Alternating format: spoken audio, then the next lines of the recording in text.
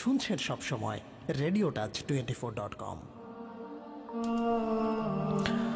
আসসালামু আলাইকুম রহমতুল্লাহ বরাকাত রহমত ও জান্নাত মাহফিরাত প্রত্যেক সপ্তাহের নয় এ সপ্তাহে কিন্তু আপনাদের কাছে দুজন ব্যক্তিকে আমরা হাজির করতে যাচ্ছি।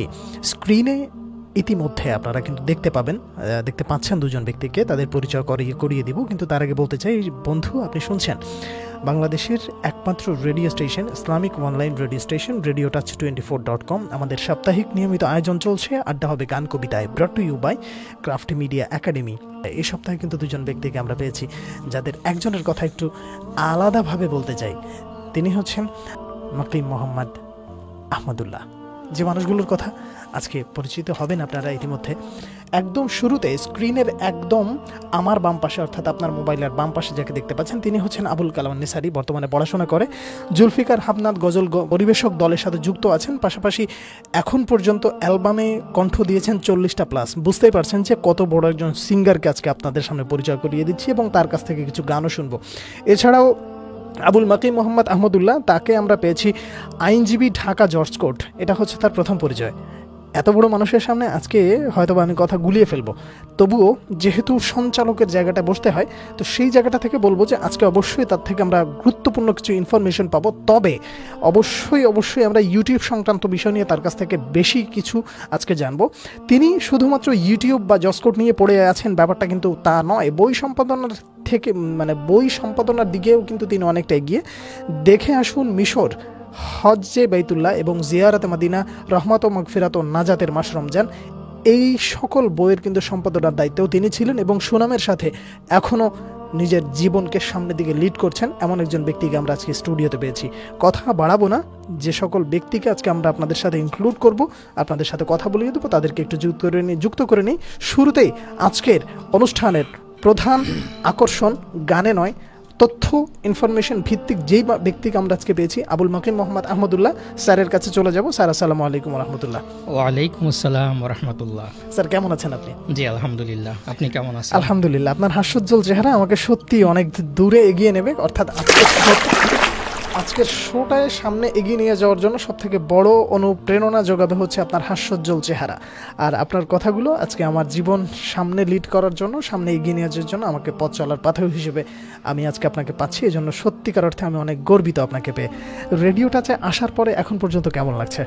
জি আমার এটা খুবই একটি আনন্দময় মুহূর্ত। জি। বিশেষ করে এফএম তো অনেক শুনি কিন্তু এই যে অনলাইন ইসলামিক জগতে এই টেকনিক্যাল লাইনে আপনাদের এগিয়ে যাওয়া সত্যি আমাকে বেশ মুগ্ধ করেছে আজকে।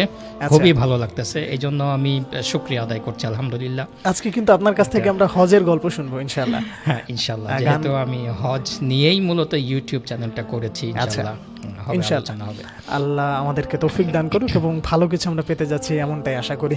এছাড়াও আমরা আজকে যে ব্যক্তিকে পেয়েছি তার নাম হচ্ছে আহ, আবুল কালাম নেসারি। নেসারি ভাই কেমন আছেন? আসসালামু আলাইকুম। ওয়ালাইকুম আসসালাম রহমতুল্লাহ বরাকাত আচ্ছা নেসারি ভাই আপনার সাথে আমার পরিচয়টা কিন্তু অনেক আগে থেকেই। জি অনেক আগে থেকেই। আপনার সাথে সম্পর্কটা আমার কয়েকভাবে। আমি তো আপনার ফ্যান প্রথম কথা। দ্বিতীয় নম্বর হচ্ছে আপনার কণ্ঠের জাদু জাদুতে বিমোহিত হই প্রত্যেকটা মুহূর্ত। আজকে দর্শকদের জন্য যারা শুনছেন লিসেনার এবং দর্শক উভয়ের জন্যই কিন্তু আজকে আপনি গাচ্ছেন শুধু আমার জন্য না অন্যান্য সময় কিন্তু আপনি আমার জন্যই গান। এনিওয়ে আর শুরুতেই হজরতের কাছে চলে যাব অর্থাৎ আমাদের মুরব্বী আবুল মাকিম মোহাম্মদ আহমদুল্লাহ। হজরত স্যার আপনার কাছে আমার শুরুতেই দুটো প্রশ্ন। সেটা হচ্ছে যে কর্মজীবনে সব থেকে বেশি ফোকাস কোন দিকে আপনি এই মুহূর্তে তাকিয়ে আছেন? মূলত আমি দু সাল থেকেই আইনজীবী হিসাবে ঢাকা জজ কোর্টে এনরোলমেন্ট পাই। সেটা তো আছেই। কিন্তু সেটার পাশাপাশি আমার আমি আরেকটু ব্যাকগ্রাউন্ডে যাই। জি, জি, অবশ্যই। আমার সব কিছু সব কাজের পিছনেই আমার আব্বার অবদান। আচ্ছা। আব্বাকে আমি শুধু আব্বা হিসাবে দেখি না। একজন ইসলামিক লাইনে ইসলামিক গবেষক হিসাবে উনি বেশ বড় ধরনের একটি জায়গা করে নিয়েছেন বাংলাদেশের ইসলামিক জগতে। আমি তার পরিচয়টা একটু সংক্ষিপ্ত দিতে চাই। উনি। সাবেক জেলাও দায়রা জজ। এটা তার একটা পরিচয় কিন্তু তার চেয়ে বড় পরিচয় তিনি এখন ইসলামিক ফাউন্ডেশনের ইমাম প্রশিক্ষক হিসাবে দায়িত্বরত আছেন। তো সেই হিসাবে আব্বাকে এখনও দেখি যে দিন রাত তিনি পড়াশোনা করছেন গবেষণা করছেন। এখনও প্রতিদিন রাতে একটা দুইটা পর্যন্ত তিনি- বই পড়েন এই বাহাত্তর বছর বয়সও যেটা আমাদের দ্বারা সম্ভব হয় না। তো সেখান থেকেই ওই যে বললাম যদিও আমি মূলত আইনজীবী বেসিক্যালি কিন্তু আমার চিন্তা চেতনা একটু অন্যদিকে যে আচ্ছা। কিছু একটা কাজ করা। যেমন আপনি শুরুতেই বলেছেন যে বইয়ের সম্পাদনার সাথে আমি আছি। এই বই সম্পাদনা হয়তো কাজটা আমি করেছি কিন্তু আমার পিছনে ছিলেন আমার আব্বা জনাব মোহাম্মদ ইসমাইল মিয়া।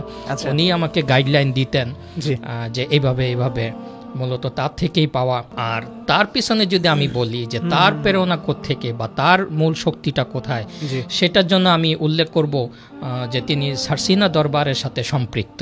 যেখান থেকে তিনি মানে যদি বলি আধ্যাত্মিকভাবে তিনি কোনো শক্তি পেয়ে থাকেন সেখান থেকেই তিনি পান। এটা শুরু আমার দাদা থেকেই। তো ওই যে একজনের পিছনে একজন গুরু থাকে বা উৎসাহদাতা থাকেন সেটা হ্যাঁ সেটা আমার বাবার কাজগুলি হয়তো কিছু কিছু কাজ বা আমার মাধ্যমে হয়তো প্রকাশ পেয়েছে বা প্রকাশ পাচ্ছে ওই যে বললেন দেখে আসুন মিশর।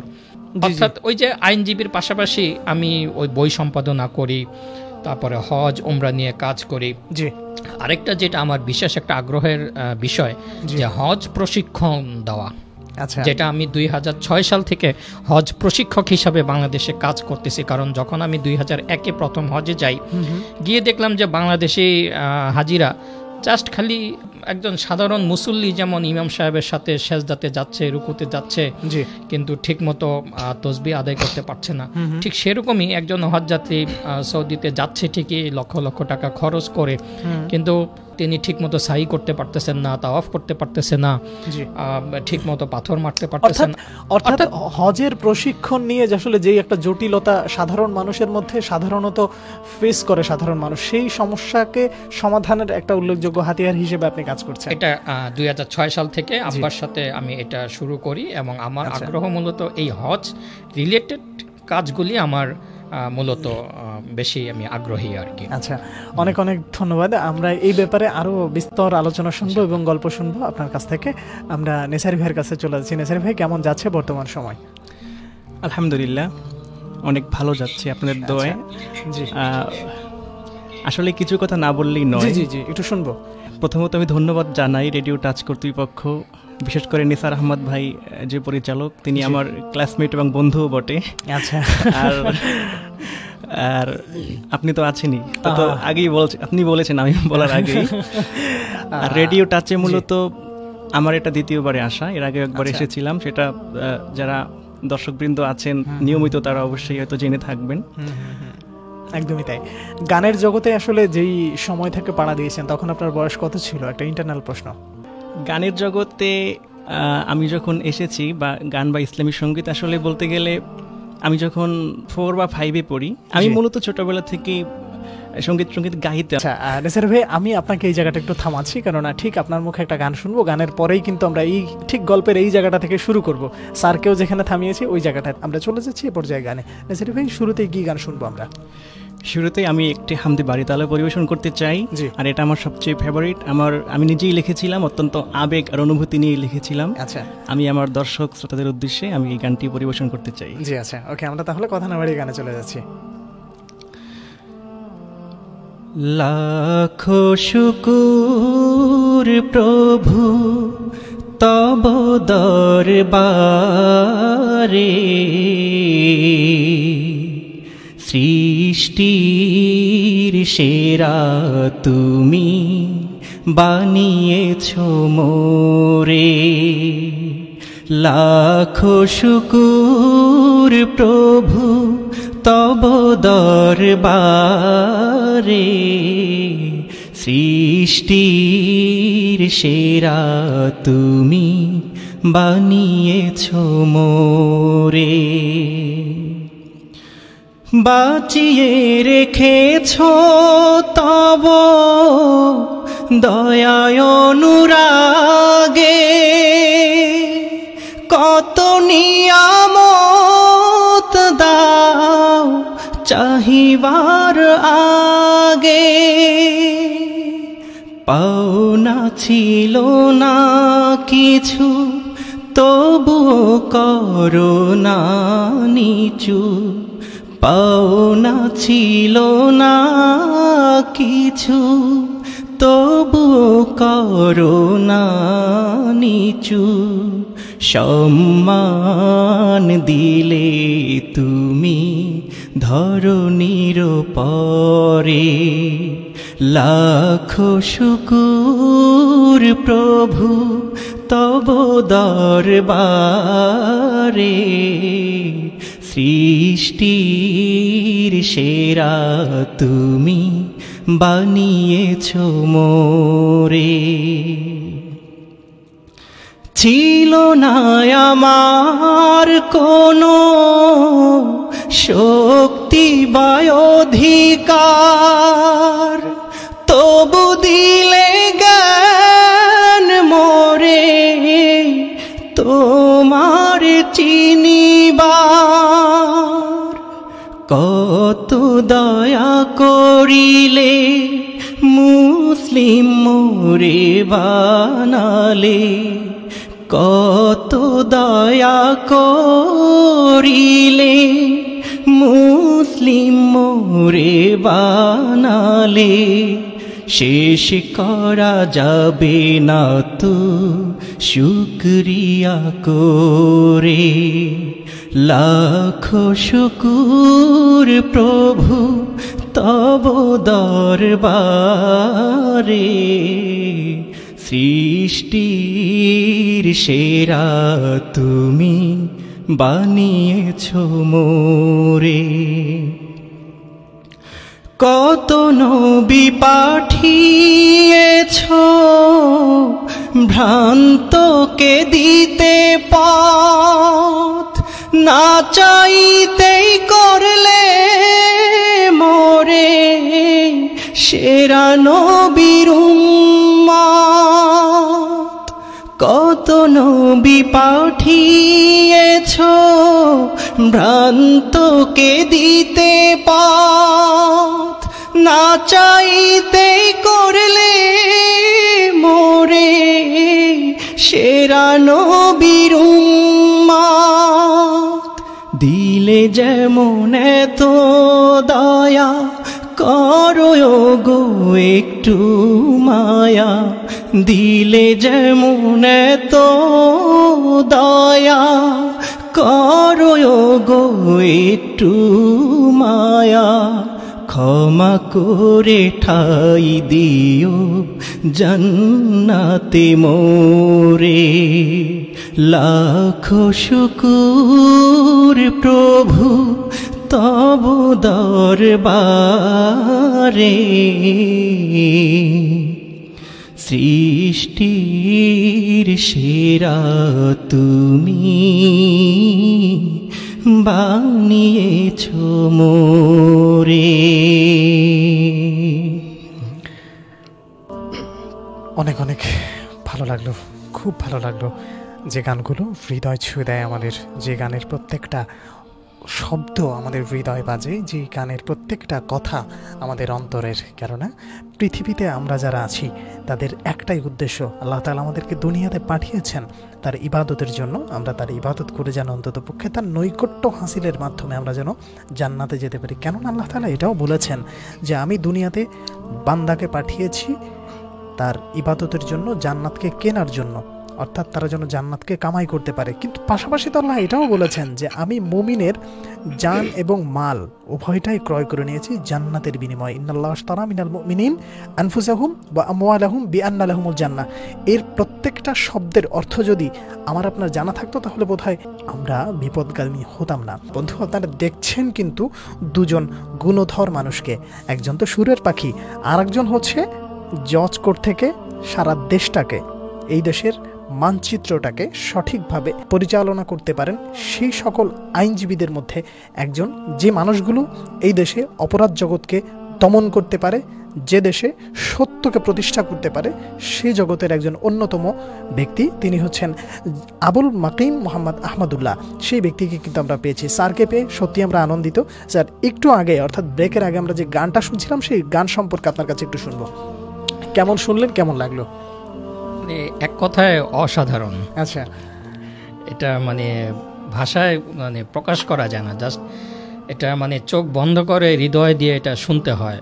একটা আছে যে ইচ্ছা করে শোনা আরেকটা হলো মানে একদম বুকের ভিতরে গিয়ে। জি, জি, জি। নেসারি ভাইয়ের ওনার গান আমি সবসময় আপনি যেমন প্রথমেই বলেছেন যে আপনি ওনার ফ্যান ভক্ত তো আমিও সেই অনেক আগে থেকেই আচ্ছা। বিশেষ করে আমি রাত্রেবেলা যখন কম্পিউটারে কাজ করি নাসারি ভাইয়ের বা আপনি ওই যে যেটা বললেন জুলফিকার শিল্পগোষ্ঠীর ওনাদের গজলগুলি যখন শুনি একদমই। মানে মনের অজান্তেই চোখের পানি চলে আসে। আলহামদুলিল্লাহ। মানে আবেগ কন্ট্রোল করা মানে কঠিন হয়ে যায় ওনাদের আসলে কবুলিয়াতের জন্য এর থেকে বড় প্রমাণ হ্যাঁ। কি দরকার হয়? যে মানুষের। অন্তরে লাগে এবং নবী সাল্লাহ আলী সাল্লাম এবং রসুল্লাহ সাল্লাহ সাল্লামের পাশাপাশি আল্লাহ তাআলার প্রেম হৃদয় জাগে যেসব সুরে পবিত্র মানে ইমান মজবুত হয়। একদমই একদমই তাই একদমই তাই।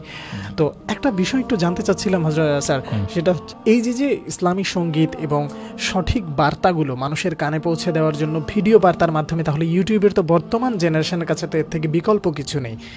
না ইউটিউব এখন যেটা আমি বেশ কয়েক বছর একটু খেয়াল করতেছি যেমন। আগে বাংলাদেশের কথাই যদি ধরি আগে বিটিভি ছিল। জি। আমরা বিটিভি দেখতাম। জি। তারপরে কিছু কিছু ইন্ডিয়ান চ্যানেল আসলো হয়তো দেখতাম। কিন্তু ডিশ আসার পরে বেশ একটা পরিবর্তন আসলো। কিন্তু বাংলাদেশে যখন ইন্টারনেট চলে আসলো যখন আরও সহজলভ্য হলো তারপরে যখন স্মার্টফোন আসলো internet plus smartphone plus YouTube. YouTube এখন আমি দেখি যে না এখন আর কেউ ওই টিভির রিমোট নিয়ে কেউ পড়ে থাকে না। একদমই তাই। হ্যাঁ, এখন কিন্তু সবাই ইউটিউব ইউটিউব আরেকটা যেটা দেখলাম বাইরের দেশে আমি তো বেশ কয়েকটি দেশেই যাওয়ার সৌভাগ্য হয়েছে। তো দেখলাম যে যেমন বাংলাদেশি একজন লোক কাজ করতেছে কাজের ফাঁকে ফাঁকে একটু সে মোবাইলটা বের করে পাঁচ মিনিট একটু ইউটিউব দেখে নিল। কারণ এখন কিন্তু লোকজন ওই আধা ঘণ্টা এক ঘণ্টা দুই ঘণ্টার ওই নাটক সিনেমা এগুলি কিন্তু এখন দেখে না যেটা আমার বাস্তব অভিজ্ঞতা। এখন ইউটিউবের বাচ্চাদের থেকে শুরু করে একদম জাস্ট আপনি এক বছরের বাচ্চার হাতেও দেখবেন যে এখন সে হয় কার্টুন দেখতেছে বা যে কোনো। তো ইউটিউবে এখন এই যেটা প্রশ্ন করলেন যে ইসলামিক এই বার্তাগুলি পৌঁছে দেওয়ার মাধ্যম ভিডিও বার্তার মাধ্যমে। ভিডিও বার্তা ভিডিও বিশেষ করে এবং অডিও এই যে বললাম যে নেসারি ভাই যে গানটা গাইলেন এটা আমি এখন দ্বিতীয়বার আগে যেটা ছিল যে আমার একটা সিডি কেনা লাগতো হ্যাঁ হ্যাঁ একটা ক্যাসেট কেনা লাগতো। এখন কিন্তু সেটা না। এখন আমি ইচ্ছা করলে নাসারি ভাইয়ের চ্যানেল থেকেই আমি তার প্রিয় আমার প্রিয় গানগুলি আমি শুনতে পারি যখন ইচ্ছা যেখানে সেখানে। এই জন্য ইউটিউবের বিকল্প কোনো কিছু এই মুহূর্তে নাই। এই মুহূর্তে নাই। ওকে রিয়েল লিসনার্স আপনারা কিন্তু অলরেডি শুনে ফেলেছেন যে আসলে বর্তমান প্রেক্ষাপটে এই জেনারেশনের কাছে ভিডিওর মাধ্যমে যদি কোনো কিছু প্রকাশ করতে হয় এবং তার কাছে যদি পৌঁছাতে হয় তাহলে ইউটিউবের বিকল্প কিন্তু নেই। ইউটিউব সংক্রান্ত বিষয় নিয়ে আরও নানা খুঁটিনাটি বিষয় নিয়ে কথা হবে আমাদের শ্রদ্ধেয় স্যারের কাছে। আমি সার্সিনে পড়াশোনা করতে পারিনি সৌভাগ্যমর হয়নি। কিন্তু আমি সার্সিনাকে খুব ভালোবাসতাম মহব্বত করতাম। আচ্ছা। তো সার্সিনে যখন আমি প্রথম যাই আমার বলতেই হয় আমার আমি যে নাঙ্গুলি নেসারিয়া ফাজিল মাদ্রাসায় পড়াশোনা করছি কাউকালিতে সেখানে আমার বড় ভাই নাসরুল্লাহ ভাই ছিলেন মিজান ভাই ছিলেন। তারা মূলত আমাকে সার্সিনা প্রথম নিয়ে গিয়েছিলেন। তখনই সার্সিনার এই পথে আমার চলার সবচেয়ে বড় যার অবদান, তিনি হচ্ছেন কাজী মহিজুদ্দিন জিয়াদি সাহেব, যার কথা না বললেই নয়।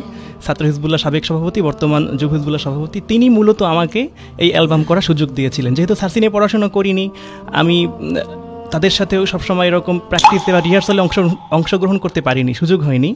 আমি নিজে গান লিখতাম তখন। গান লিখেছিলাম। সুর করেছি নিজেই। তারপর শোনানোর পরে তাদের পছন্দ হওয়ার পরেই মূলত আমি অ্যালবাম করার সুযোগ পেয়েছি এবং এবং আমার মনে হচ্ছে আমি একমাত্র ব্যক্তি যে সার্সিনা না পড়ে সার্সিনার সাথে সার্সিনা অ্যালবামে কণ্ঠ দিয়েছি। এরকম দ্বিতীয়বার কেউ নাই। অবশ্যই, এটা আমার জন্য অত্যন্ত সৌভাগ্যের ব্যাপার আলহামদুলিল্লাহ। নেসারি ভাই কথা বাড়াবো না গানে যাব। কি গান শুনছি এই মুহূর্তে? যেহেতু রিকোয়েস্ট এসেছে হিরাসুল তোমায় ভালোবাসি। জি আমরা হামদের বলে তাহলে বোধহয় নাদ দিয়ে শুরু করছি। জি। জি তাহলে আমরা কথা না বাড়িয়ে চলে যাচ্ছি গানে। সাল্লাল্লাহু আলাইকা ইয়া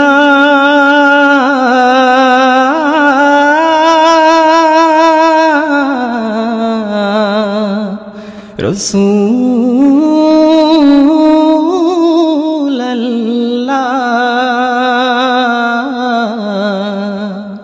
ওয়াসাল্লাম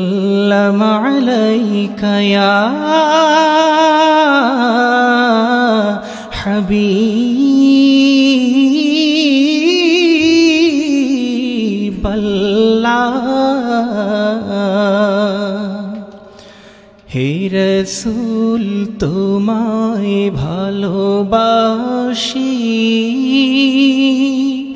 অন্তরে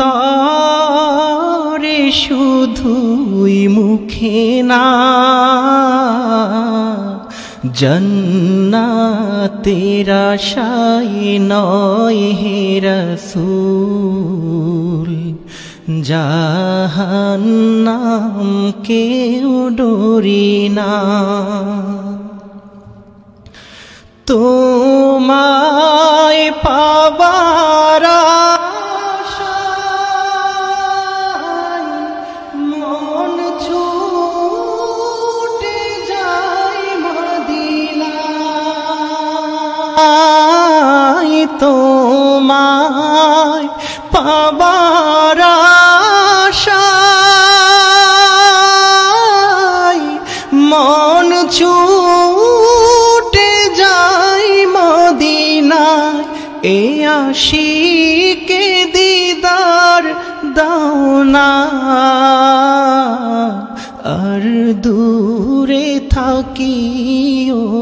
না, এ আশিকে দিদার দাও না।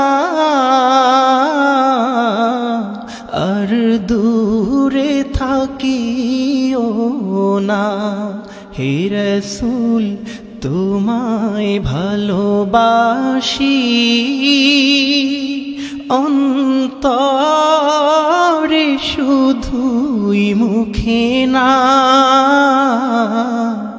জন্নাতির আশায় নয় হে রসুল জাহান্নাম কেউ ডরি না। তোমার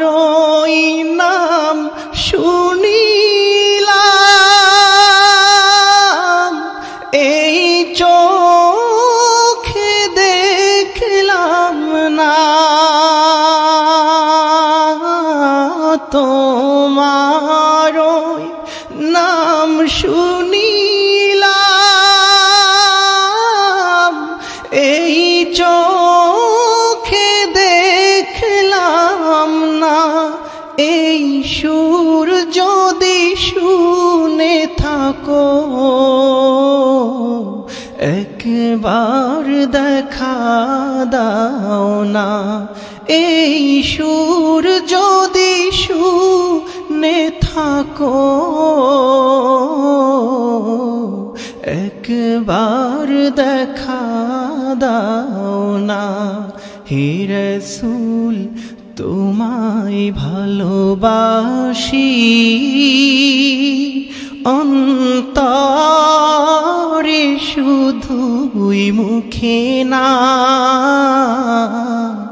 জন্নাতের আশায় নয় হে রসুল, জাহান্নাম কেউ ডরি না, জন্নাতের আশায় নয় হে রসুল জাহান্নাম কেউ ডরি না।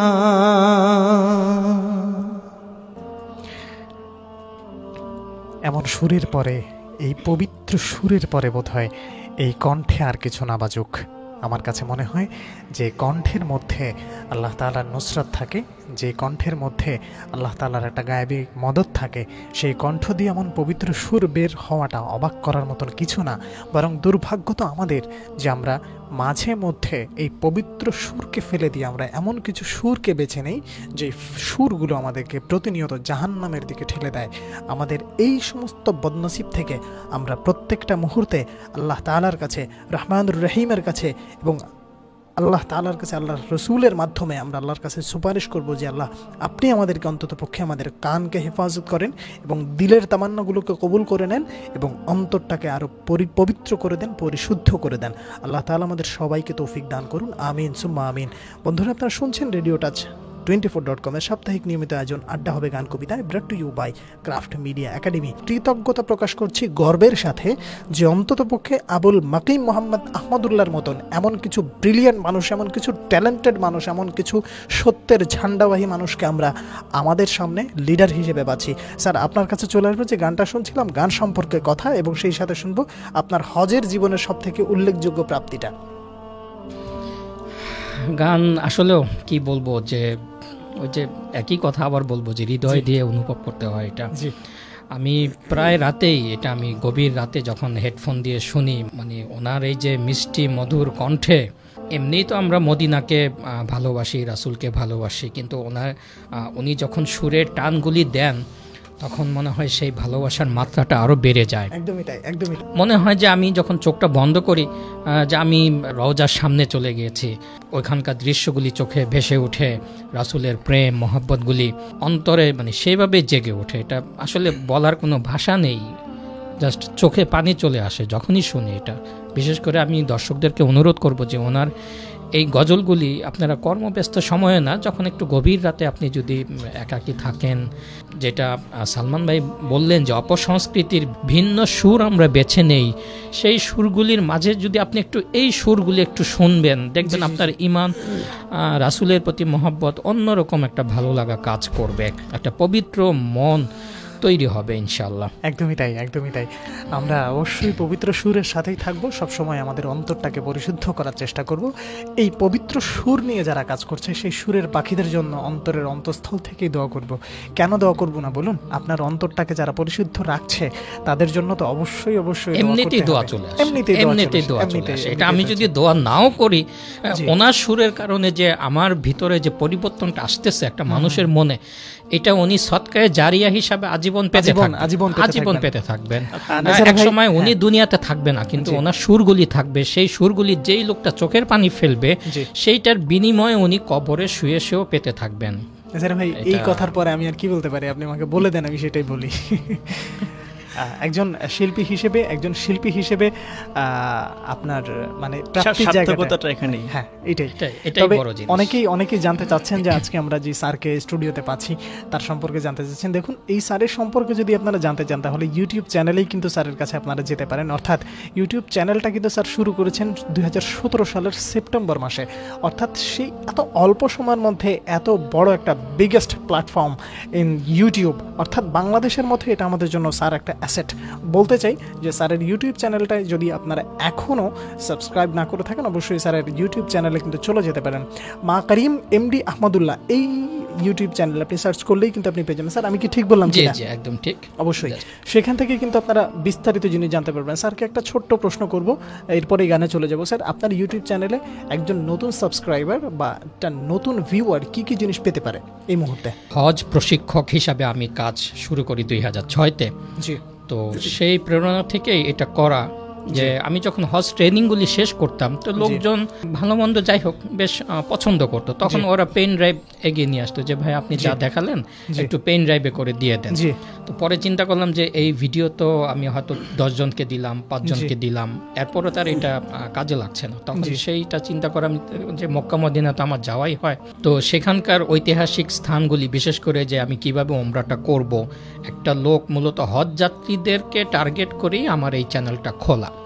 আচ্ছা। অর্থাৎ আপনি যদি এই মুহূর্তে ওমরা করতে যান যেটা আপনি একটু আগে আমরা কথা বলছিলাম যে ইউটিউব ভিডিওর মাধ্যমে ইউটিউব এখন একটা অন্যতম মাধ্যম সহজে শেখার জানার।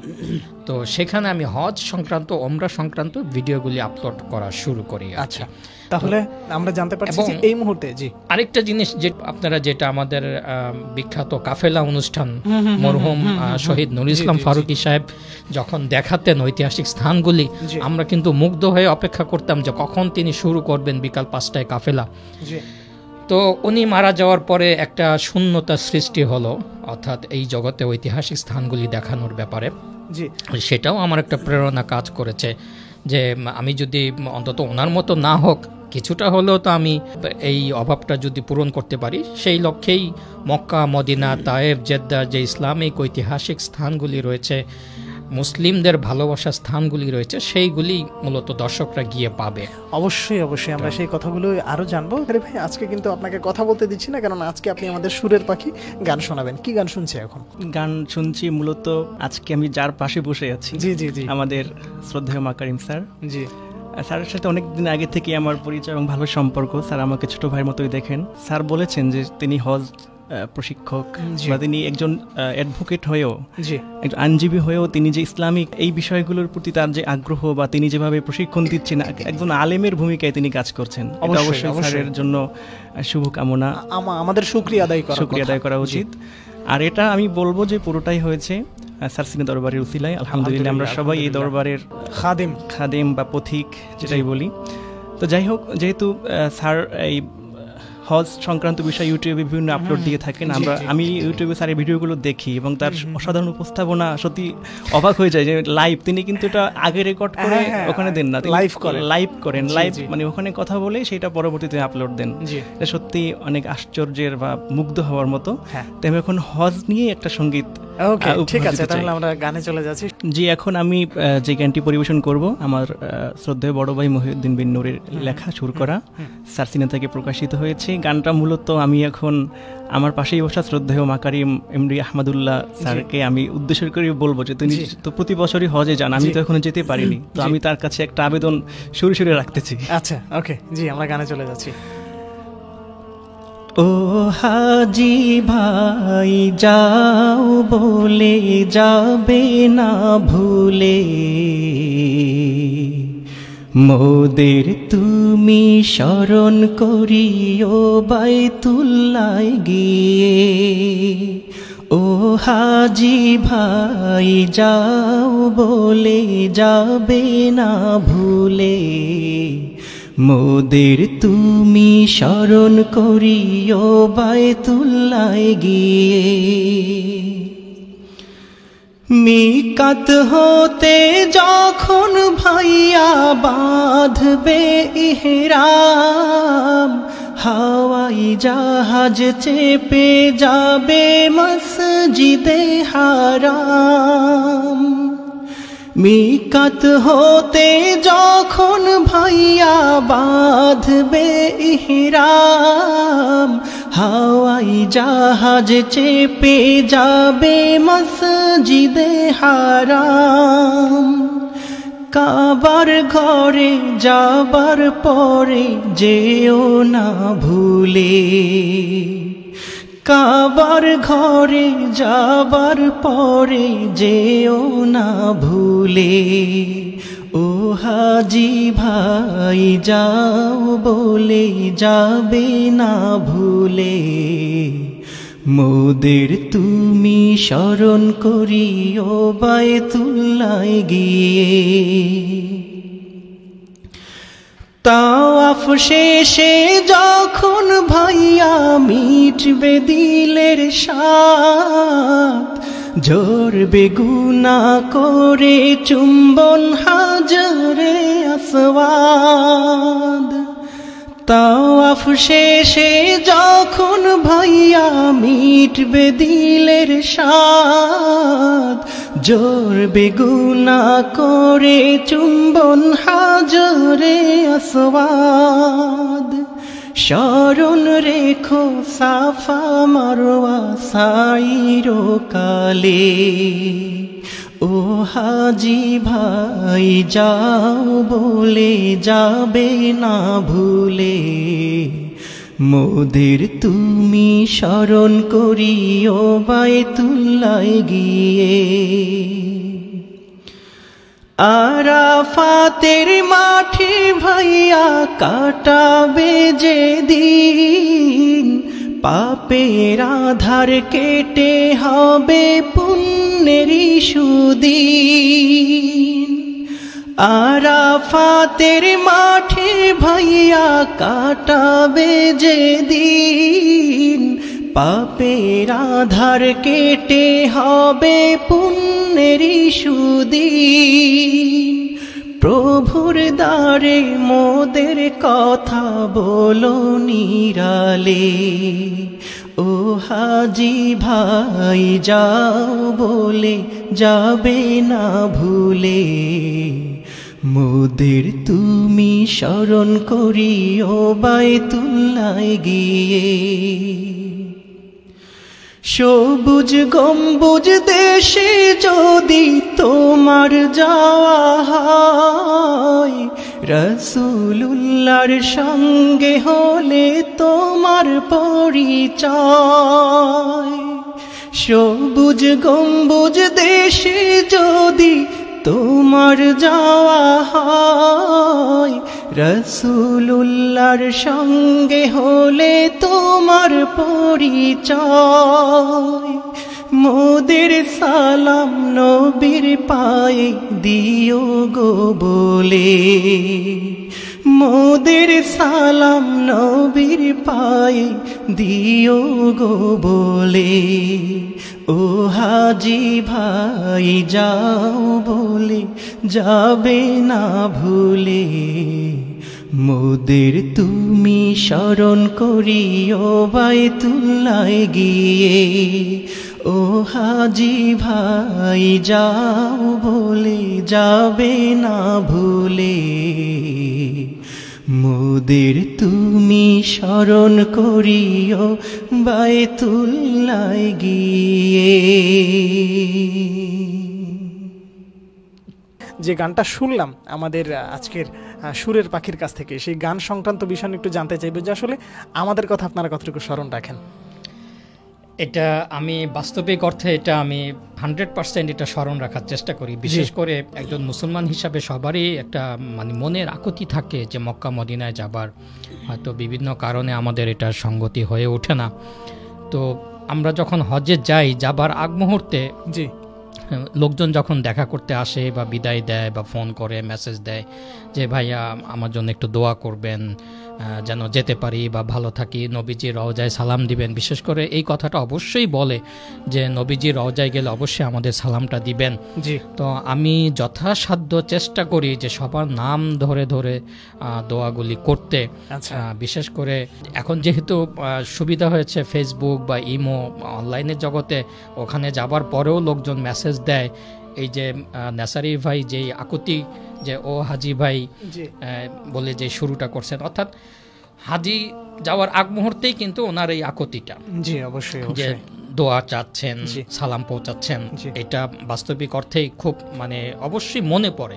অবশ্যই অবশ্যই। যে একটা লোক আপনারা যে আমাদের জন্য এত কিছু করছেন মানে এক নম্বর হচ্ছে স্মরণ করছেন দ্বিতীয় নম্বর হচ্ছে যারা যেতে চায় তাদের জন্য যে অক্লান্ত পরিশ্রমের মাধ্যমে যে খেদমতটুকু করছেন এই জন্য আসলে আপনাদের জন্য আসলে কৃতজ্ঞতা না। আমার মনে হয় ওই রাত্রে ওই রাত্রে মানে রাত তো আমাদের কাছে দুটো, যারা মানে আমরা যারা সাধারণত কোনো একটা নেশাব ফলো করি, তাদের জন্য তো রাত দুটো। একটা হচ্ছে আপনার স্বাভাবিক গতির রাত আর একটা হচ্ছে ওই রাত। ওই রাতের গল্পটা আসলে সে সকল মানুষই জানে, যারা ওই রাতে উঠে নোনা জলের মাধ্যমে স্রষ্টার কাছে স্রষ্টার কুদরতি পায় যারা সেজদা করে, তাদের কাছে আসলে ওই রাতটার কোনো সংজ্ঞা নেই। ওই রাতটা হচ্ছে মালিককে বাবার রাত। ওই রাতে দুরাকাত নামাজ পড়ে হচ্ছে সকল মানুষদের জন্য আসলে দোয়া করা ছাড়া এই পৃথিবীতে দেওয়ার মতন আর কিছুই নেই। নেসার ভাই কি বলেন? জি অবশ্যই। কারণ এই মানুষগুলো আমাদের জন্য সত্যিকার অর্থে ইন্সপিরেশন কারণ এই মানুষগুলোর কারণেই হয়তো আমরা সামনে ওই যে শুরুতেই বলেছি যে এই মানুষগুলো তো আমাদের জন্য রাহবার। এই মানুষগুলোই হচ্ছে পৃথিবীতে আরও অনেক দিন বেঁচে থাকুক। ক্ষণজন্ম হয়ে যে মানুষগুলো জন্মায় সেই মানুষগুলোর অনুপস্থিতিতে আমরা অবশ্য মানে অনুভব করি যে আসলে এই মানুষগুলোর কতটুকু দরকার ছিল। স্যার আপনার কাছে অনেক অনেক কৃতজ্ঞতা। নেসার ভাই আপনার কাছে মুহূর্তে কি গান শুনছি আমরা? আমি আমার লেখা একটা নাতে রসুল্লাহ সাল্লাম শোনাতে চাই। আচ্ছা আমরা গানটা কবে লিখেছিলেন সেই ব্যাপারে একটু জানব। এটা আমি লিখেছিলাম দু হাজার এগারো সালে। দাও, দেখা, দাও, স্বপনেতে ইয়ার সুলে আরবি তোমারি নাম, মন গহিনে ইয়ার সুলে আরবি দাও দেখা দাও স্বপনেতে ইয়ার সুলে আরবি। সৃষ্টি কুলের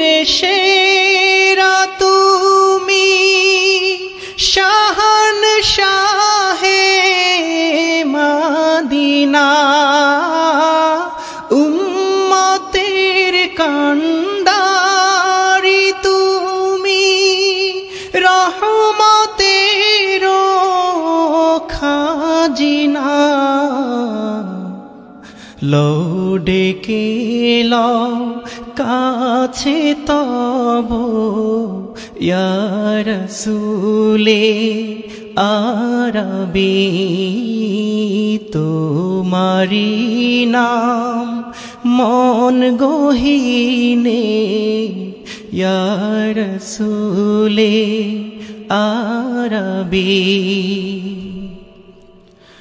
পয়দা তোমার নূরে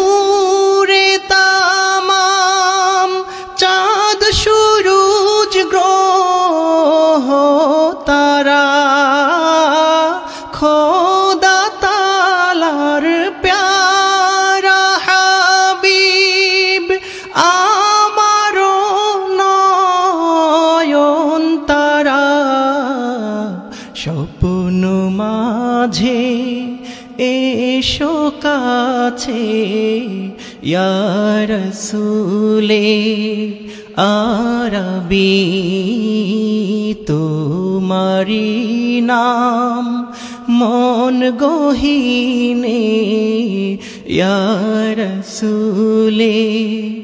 আরবি। দূর মদিনায় কাঁদো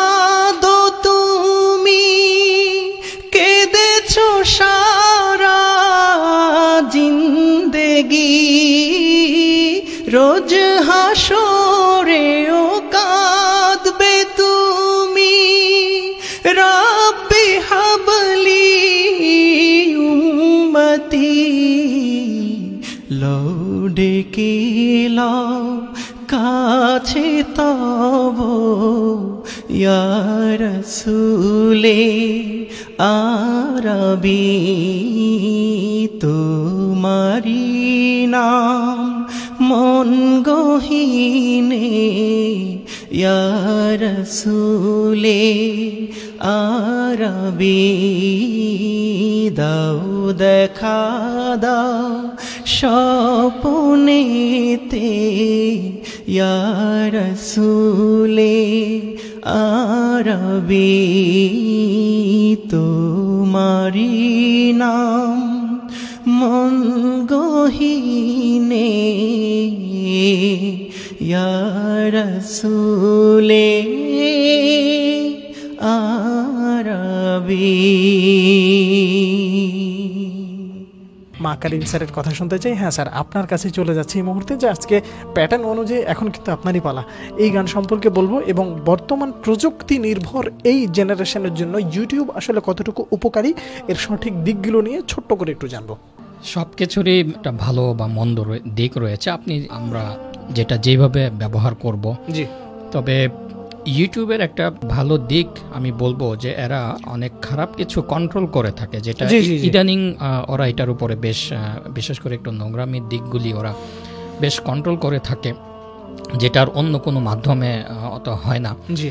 তো এখন যেহেতু প্রযুক্তি নির্ভর ঘরে ঘরে ইন্টারনেট এবং স্মার্টফোন হাতে চলে এসছে তো আমি সবাইকে আবেদন রাখব যে বিশেষ করে বাচ্চারা আমরা যারা বয়স্ক তারা তো হয়তো একটু প্রযুক্তি থেকে একটু দূরে থাকি।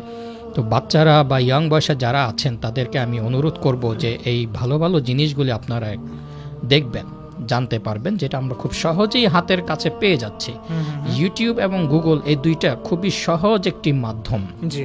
যেটা আমরা আগে চাইলেই পেতাম না কিন্তু এখন এটা এবং এই জিনিসটা মাথায় রেখেই আমি হজ রিলেটেড যে ভিডিওগুলি কাজ করেছি মূলত এই জিনিসটা মাথায় রেখেই যেন মানুষের হাতে কারণ আমি থাকি বাংলাদেশে ঢাকায়। আমি ইচ্ছা করলেও এখন চট্টগ্রামের বা সিলেটের বা আমেরিকার বা অস্ট্রেলিয়ার একটা লোকের হাতে কিন্তু আমার বা লেকচারটা আমি পৌঁছে দিতে পারছি না বা আমার কাজটা আমি সে চাইলেও আমি দিতে পারছি না।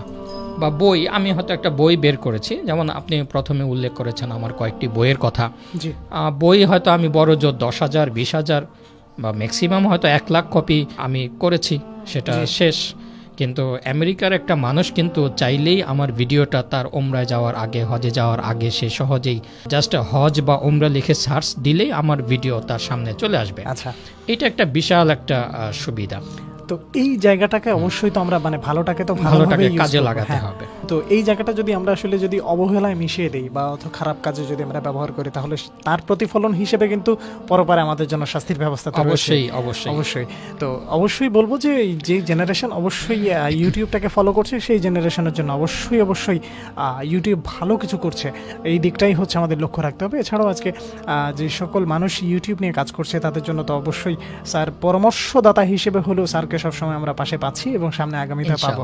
ইনশাআল্লাহ তো নিজের ভাই জানতে চাইব যে আসলে একজন মানুষ একটা গান রিকোয়েস্ট করেছে গানটা গাওয়া সম্ভব হবে কিনা? ত্রিভুবনের প্রি মোহাম্মদ গানটা কখনো করেছেন কিনা? এই গানটা করা সম্ভব কিনা? একটু জানতে চাই। যদি সম্ভব না হয় তাহলে পরবর্তীতে আরেকটা দিন আমরা শোনাবো। তবে এই মুহূর্তে কি গান শুনছি আমরা? মা নিয়ে একটা রিকোয়েস্ট এসেছে আচ্ছা শুনছেন আমি। তাহলে আমি আমরা কি এখন এই মুহূর্তে মায়ের গান শুনছি? হ্যাঁ মায়ের গানটা শুনব তার আগে আমি ত্রিভুবন পীর মোহাম্মদ আমি শোনাচ্ছি। আচ্ছা ওকে তাহলে আমরা দুটো গান একসাথে শুনব। সাগর আকাশ বাতাস দেখবি যদি আয়। ত্রিভুবনের প্রিয় মোহাম্মদ এলোরে দুনিয়া। এই গানটা যে আমার কত বড় প্রিয় একটা গান সেটা আসলে আমি কোনোদিনও আপনাদেরকে বোঝাতে পারব না। আমি সারা মাসের মধ্যে যদি কোনো একটা জায়গায় গুনগুন করে থাকি কোনো গান যদি আমাকে নাচাতে পারে তাহলে এই একটাই গান সব থেকে আমাকে বেশি নাচায়। এটা কিন্তু পারফেক্ট সময় গাওয়া হয়েছে মিলাদুন নবীর মাস। একদমই তাই একদমই তাই। তবে সব থেকে বড় যে ব্যাপারগুলো হচ্ছে যে নেসির ভাই যে গানগুলো আসলে আমাদের হৃদয় বাজে একটা লিরিক অর্থাৎ যারা লেখক গানের অর্থাৎ গীতিকার যারা তারা কিন্তু সব থেকে বড় সার্থকতা কিন্তু এই জায়গায় যে তার গানে কিন্তু আজকে আমরা নাচছি আমরা গাচ্ছি আমাদের হৃদয়টাকে আন্দোলিত করছে আমরা প্রত্যেকটা মুহূর্তে ভুরু উঁচু করছি যাটা কত সুন্দর কথা যে দেখ আমি না মায়ের কোলে দোলে শিশুর ইসলাম ধরে এই কথাটার মানেটা কি এই কথার ওজনটা কোথায়? এই জায়গাগুলো যদি আমরা একটু জাস্টিফাই করি বা একটু যদি মানে পর্যবেক্ষণ করতে যাই তাহলে কিন্তু অনেক কথা চলে আসে। স্যার এই ব্যাপারে কিন্তু অবশ্যই অনেক অভিজ্ঞ থাকবেন কেননা স্যার তো মদিনার ধুলো মেখে এসেছে। স্যারের পা তো অবশ্যই সেই ধন্য পাও সেই যে পা মদিনার মাটি বাড়িয়েছে স্যারের হাত তো সেই অবশ্যই বরকতময় হাত যে হাত নবীজের রওজা অবশ্যই অবশ্যই স্পর্শ করে এসেছে। স্যারের চোখ দুটো তো সেই দুটো চোখ যে চোখ দিয়ে তিনি নবীজের সবুজ গম্বুজ মানে সবুজ মিনার দেখে এসেছেন। স্যারের শরীরটা তো সেই শরীর যেই শরীরে রওজায় আতাহারের ঘ্রাণ লেগে আছে।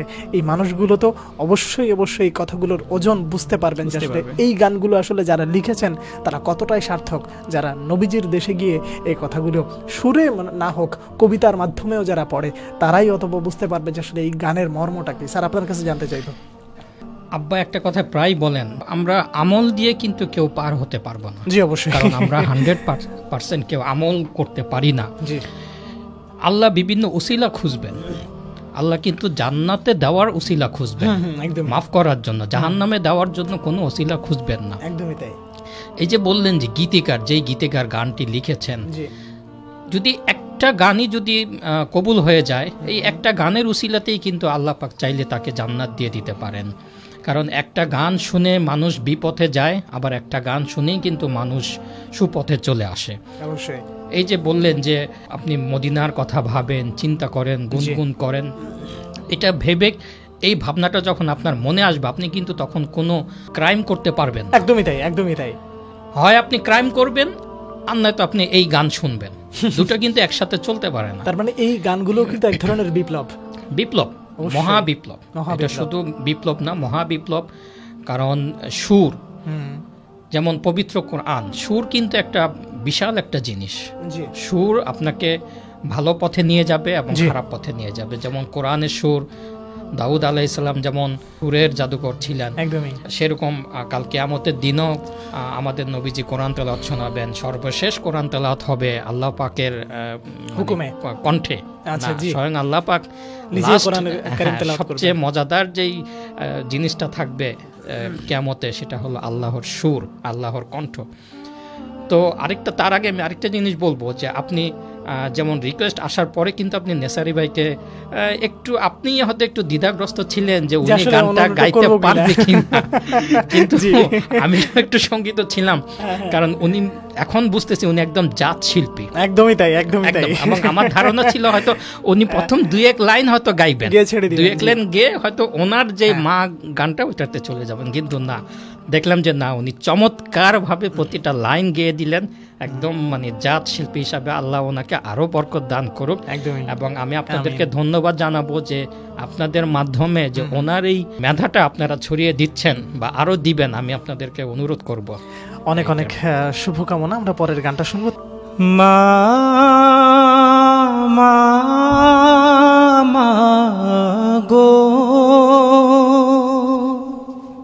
মধুর আমার মায়ের হাসি চাঁদের মুখে ঝরে।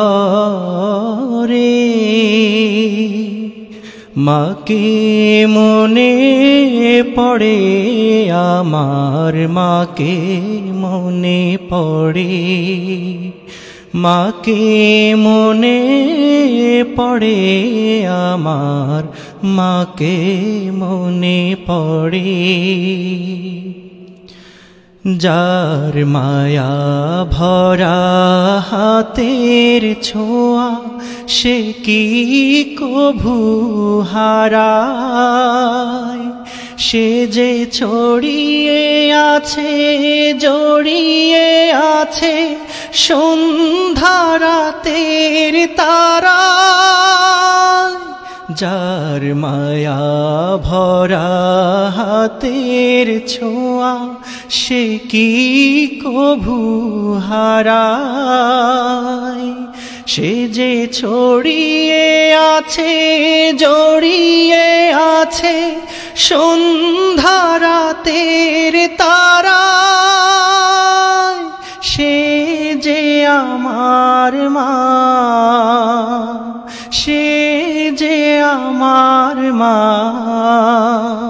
বিশ্বভুবন মাঝে যাহার নেই কতুলনা। নেই কতুলনা। মা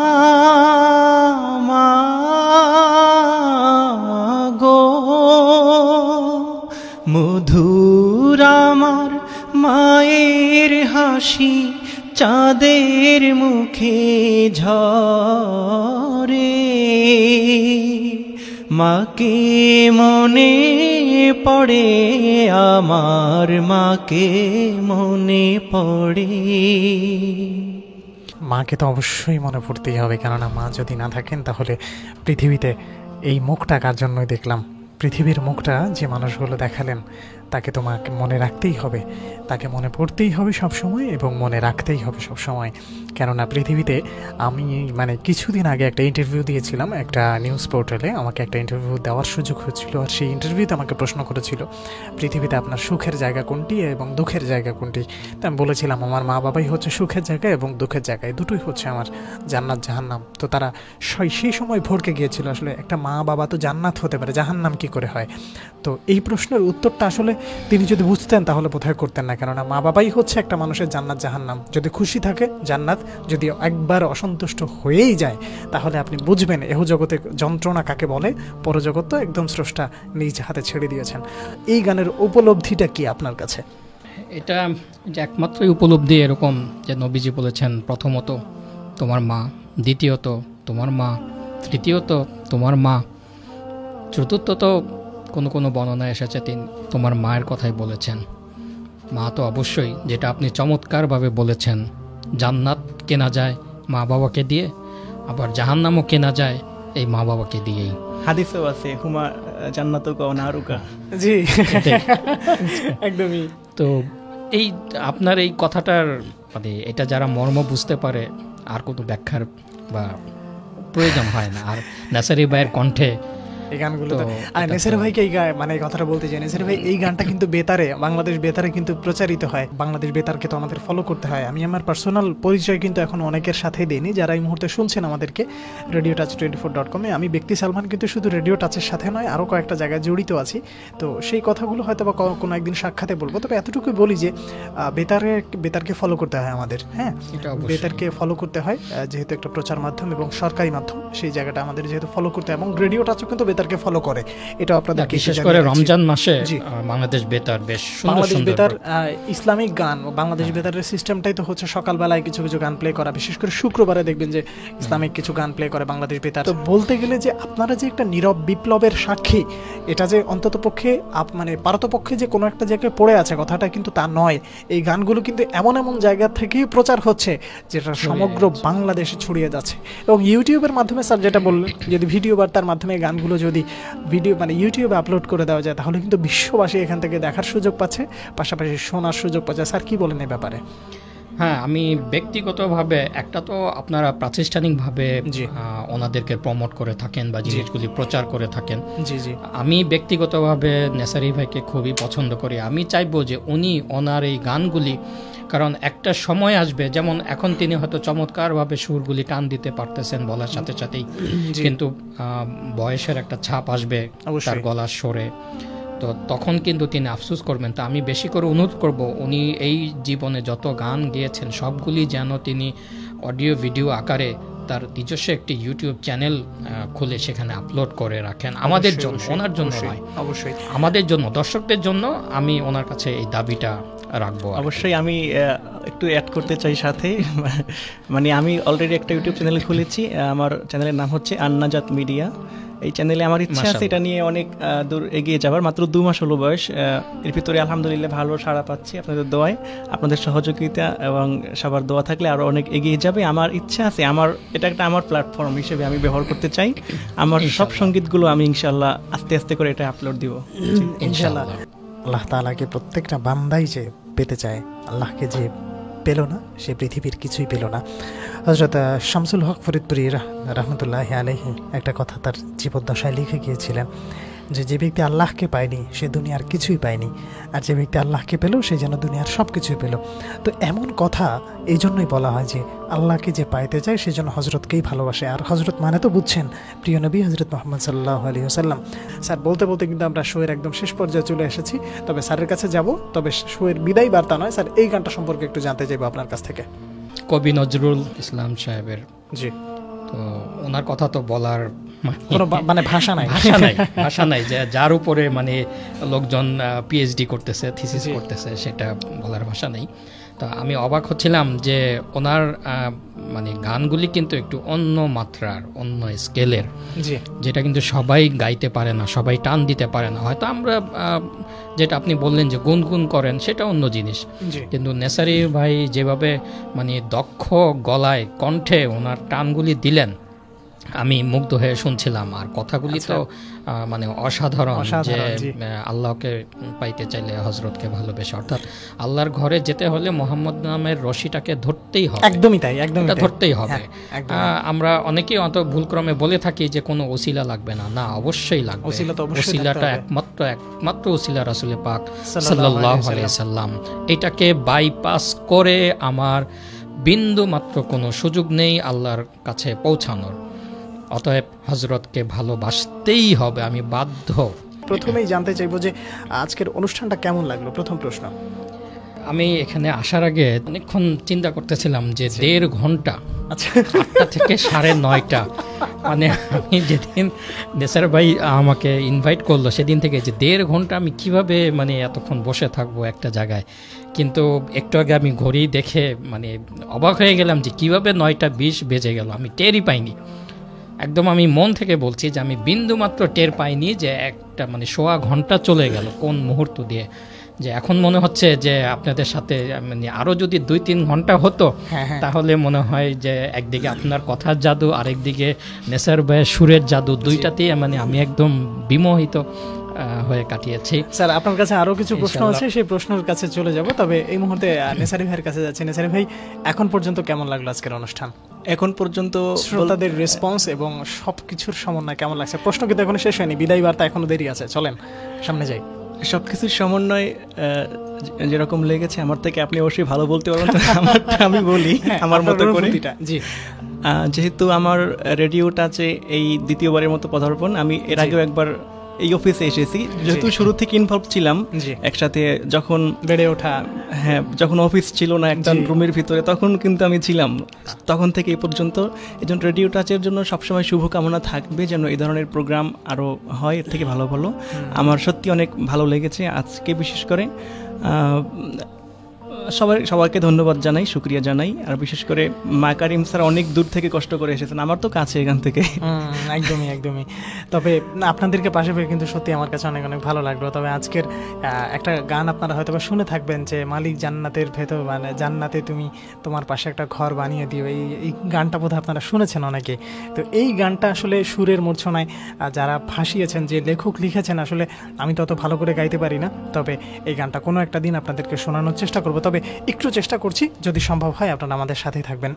মালিক, তুমি জান্নাতে, তোমার পাশে আমায় একটি ঘর বানিয়ে দিও। একটি ঘর বানিয়ে দিও। মালিক, তুমি জান্নাতে, তোমার কাছে আমায় একটি ঘর বানিয়ে দিও। একটি ঘর বানিয়ে দিও। সে বিভীষিকাময় মহাদিনে তোমার প্রতিবেশী করে নিও মালিক, তুমি জান্নাতে তোমার পাশে আমায় একটি ঘর বানিয়ে দিও। একটি ঘর বানিয়ে দিও। মাশাআল্লাহ অসাধারণ আসলে মানে মানে যারা সাধারণত গান গেয়ে থাকে সেই মানুষের সামনে আসলে বেয়াদবি করতে নেই। তবে এমন কথার জাদুর সাথে সাথে যে সুরের জাদু আছে আমরা প্রমাণ এটা জানতাম না এটা কল্পনার বাইরে ছিল। একদমই না তবে আমার একজন স্যার আছেন। আমার স্যারটা মানে অনুষ্ঠানে ঠোকার সময় বলছিল যে আমি একদম শেষ পর্যন্ত অনুষ্ঠানটা শুনব আমার একটা গানের কথা আছে সেই গানটা হচ্ছে যে জান্নাতের ভেতরে একটা গান মানে ঘর বানিয়ে দিও এই গানের দুটো লাইন অন্তত পক্ষে তোমার কণ্ঠে আমি শুনতে চাই। স্যার আসলে আমি কখনোই বোধহয় এত বড় দুঃসাহস করি না তবে এই দুটো সপ্তাহ তিনটে সপ্তাহ অতিবাহিত হচ্ছে যে হঠাৎ হঠাৎ মুখ থেকে কিছু একটা বের হয়ে যায়। তো এই জন্য আমি আন্তরিকভাবে দুঃখ প্রকাশ করি তবে এটাও স্বীকার করি যে সুরের পাখিদের সামনে আসলে আমাদের মতন বেশিরও কণ্ঠের মানুষের জবান খোলাটা একদমই অনুচিত। দর্শক হিসাবে আমাদের দাবি থাকবে একদিন আপনি এই পাশের এই সিটে বসবেন এবং দর্শকদেরকে আপনি এই সুরের উপহারগুলি দিবেন। অনেক অনেক ধন্যবাদ স্যার আপনার কাছে। অনেক অনেক কৃতজ্ঞতা আজকে অনেক যথেষ্ট সময় দিলাম। স্যার একদম শেষ পর্যায়ে চলে এসেছি। শেষ মুহূর্তে আমাদের পথ চলাকে নিয়ে যদি কোনো কথা থাকে এটা হলো প্রথম প্রশ্ন যে আমাদের পথ চলা সম্পর্কে আপনার দিক নির্দেশনামূলক কিছু কথা থাকবে। একদম শেষ মুহূর্তে। আপনারা এই যে চমৎকার একটি আয়োজন এটা। কিন্তু সত্যি আমার অজানা ছিল আর কি। জি। কারণ এখন তো অনলাইনের যুগে অনেক ফেসবুক পেজ বা online media F M radio বিভিন্ন চ্যানেল ইউটিউবের ভিড়ে। মানে এরকম চমৎকার একটি জিনিস আপনারা মানে এতদিন ধরে চালিয়ে আসছেন এটা আমার অজানা ছিল এটা আমার ব্যর্থতা। এই জন্য এখন আমাদেরও ব্যর্থতা আছে যে আসলে হ্যাঁ, পৌঁছাতে পারি ব্যর্থতা বলব না হয়তো সীমাবদ্ধতায় আপনারা শুরু করেছেন। জি জি আস্তে আস্তে ইনশাল্লাহ। হ্যাঁ কারণ একটা জিনিস শুরুর সাথে সাথেই এটা ছড়িয়ে যাবে না এটার জন্য মেহনত করতে হবে পরিশ্রম করতে হবে। তবে আমার দৃঢ় বিশ্বাস এভাবে যদি আপনারা চালিয়ে যেতে পারেন ইনশাল্লাহ আপনারা অনেক দূরে এগিয়ে যাবেন ইনশাল্লাহ। অনেক অনেক, ধন্যবাদ। নেসারি ভাই আপনার কাছে চলে আসব যে অনুষ্ঠানের এখন পর্যন্ত যারা আপনাকে লিখেছে আপনাকে উদ্দেশ্য করে অনেকের রিকোয়েস্ট আসলে রাখা সম্ভব হয়নি। তাদের কাছে তাদের আহ, উদ্দেশ্যে যদি কিছু বলা থাকে। উদ্দেশ্য বলতে আসলে আমি সাধারণত আমার ব্যক্তিগত আইডি থেকে ওভাবে লাইভে অনেকে আচ্ছা। আসে আমি আসি না খুব আচ্ছা। একটা। তো যাই হোক আমার ফ্রেন্ড সার্কেলের অধিকাংশই আমার ফেসবুকের সাথে অ্যাড আছে। তো আজকে দেখলাম যে অনেক পরিচিত মুখ অনেক ভালোবাসার আচ্ছা। মানুষগুলো এখানে মানে বিভিন্ন ধরনের মন্তব্য। আমার হাতে কিন্তু মোবাইল আছে ফাঁকে ফাঁকে আমি কমেন্টস দেখি। বা অনেকে ইনবক্সও করতেছে আমি পড়তেছি। আসলে এটা একটা অসাধারণ অনুভূতি। এটা আমি আহ, বলে বুঝাতে পারব না। অবশ্যই আমি সবার প্রতি কৃতজ্ঞ যারা এতক্ষণ, এত সময় ধরে আমাদের সাথে ছিলেন এবং এভাবে সবসময় থাকবেন, এই আশা এই কামনা সবসময়ই করি। আর আর যে সালমান ভাইয়ের কথা কি বলব মানে তিনি আমার থেকে তা অনেক বেশি ভালো বলতে পারবেন, আমি হয়তো ভালো বলতে পারব না, তবে মন থেকে অনেক অনেক দোয়া থাকল, সামনে আরও এগিয়ে যাবেন, এই দোয়া সবসময় করি, রেডিও টাচের প্রতি সবসময় শুভকামনা থাকবে, দর্শক, শ্রোতা যারা অনেক আমার অচেনা দর্শকও দেখেছি মানে চিনি না আমি বা জানি না, তারা অনেকে শুভেচ্ছা জানিয়েছেন, ভালো লাগা জানিয়েছেন, ভালোবাসা জানিয়েছেন, সবার প্রতি কৃতজ্ঞ, সবার প্রতি শুভকামনা সবাইকে ধন্যবাদ জানিয়ে বিদায়ের হ্যাঁ বিদায়ের বার্তা আছে। বিদায়ের বার্তাটা নিব। তার আগে লোকমান হোসেন আমাদেরকে বলছেন মাশাআল্লাহ দারুণ হয়েছে। মাশাল্লাহ দারুণ হয়েছে। অবশ্যই অবশ্যই ভাইয়া আমাদের সাথে থাকবেন সবসময়। প্রত্যেক বৃহস্পতিবার রাত সাড়ে আটটা থেকে আটটা থেকে নিয়ে সাড়ে নটা পর্যন্ত আমরা যুক্ত থাকি। তো এখন পর্যন্ত যতটুকু ভালো লাগা কাজ করা এবং আপনার প্রতি আমাদের কৃতজ্ঞতা তো বা শেষ নেই। যারা দেখেছে প্রত্যেকের প্রতি ভালোবাসা জানিয়ে আমরা বিদায় বার্তাটা শুনব আপনার কাছ থেকে। ওই যে বললাম যে দেড় ঘণ্টা সময় কিন্তু এখনকার এই ডিজিটাল যুগে অনেক লম্বা। অনেক লম্বা সময় তো যেখানে আমি অনলাইনে দেখতে পাচ্ছি যে অনেক মানুষ আমাদের সাথে এই যে দেড় ঘণ্টা সময় দিয়েছেন এটা কৃতজ্ঞতা জানানোর আসলে ভাষা নেই। যে এত মানুষ আমাদেরকে এতক্ষণ সময় দিয়েছেন। সময় দেয় মানুষ যেটা আমার ইউটিউবের অভিজ্ঞতা দুই মিনিট তিন মিনিট এরপরে কিন্তু মানুষ থাকতে চায় না। থাকতে যায় না। কিন্তু আপনার কথা জাদুতে বা নাসারি ভাইয়ের সুরের জাদুতে সব কিছু মিলিয়ে যে দর্শকরা রয়েছেন এবং শুভেচ্ছা জানিয়েছেন এটা মানে অতুলনীয়। আমার জন্য একটি বিশাল পাওয়া। এই জন্য আমি অশেষ কৃতজ্ঞ সবার কাছে এবং শুক্রিয়া জানাই মহান আল্লাহ রব্বুল আলমিনের কাছে। আলহামদুলিল্লাহ। দর্শকদেরকে অনুরোধ করব আপনারা সবসময় আজকের মতো অতীতের মতো এই Radio Touch twenty four dot কমের সাথে থাকবেন। ইনশাল্লাহ সুন্দর সুন্দর প্রোগ্রাম আলোচনা ইসলামিক গান ভালো ভালো কথা ইনশাল্লাহ শুনতে পাবেন দেখতে পাবেন। সবার প্রতি রইল আবারও অশেষ কৃতজ্ঞতা। অনেক অনেক ধন্যবাদ স্যার। বিদায় বার্তাটা শুনব হচ্ছে নেসারি ভাইয়ের কাছ থেকে। ভাইয়া বিদায়। একদম শেষ সময় যদি কিছু বলার থাকে। শেষ সময় যেটা বলার আসলে বলেছি আমার এই মুহূর্তে আমি খুবই আবেগ আপ্লুত। বাস্তবে বিদায় তো নিতেই হবে একটা সময়। এতক্ষণ দেড় ঘণ্টা এখানে ছিলাম। যারা দেখেছে আমাদের এই দেড় ঘণ্টা সাথে ছিল, মনে হচ্ছে যেন একই জায়গায় আমরা আছি, বা একটা, মনে হচ্ছে একটা পরিবারের মতো আমরা এখানে ছিলাম। যাই হোক বিদায় নিতে হবে। এটা চিরচারিত নিয়ম পৃথিবীর। একটা সময় সবাই বিদায় নেবে। তো আমি সবার কাছে আহ্বান জানাব এটাই যে রেডিও টাচ প্রতি সোমবারই এই আয়োজনটা করে।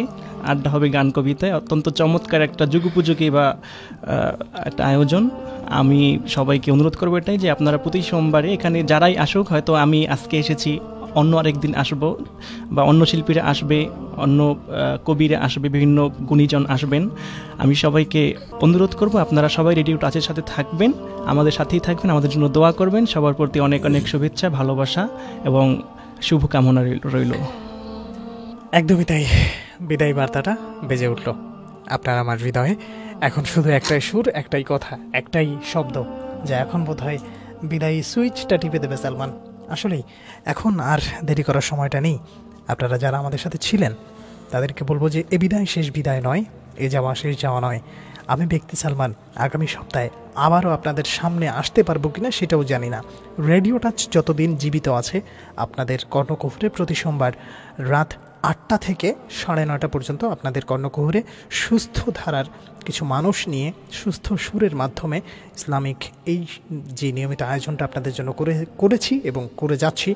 আপনারা আমাদের সাথেই থাকবেন এবং দোয়া রাখবেন, আমরা যেন এটাকে আরও সুন্দরভাবে আঞ্জাম দিতে পারি। পৃথিবীতে আমি, আপনি একা এসেছি, একাই যাব।